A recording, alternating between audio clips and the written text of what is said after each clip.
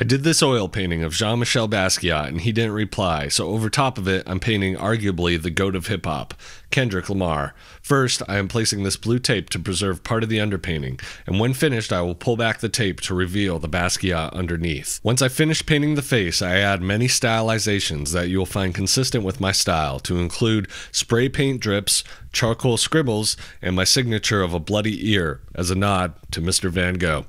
Now it's time to remove the tape to reveal the underpainting. The tape was placed as horizontal lines coming out of Kendrick's eyes to symbolize the visionary artist that he is. Then I place the tape with only a sliver of the Basquiat painting showing from underneath. This creates a ripped painting effect that I think is fitting to Kendrick's new album as it is about finding himself, recreating himself, picking up the broken pieces, and putting them back together.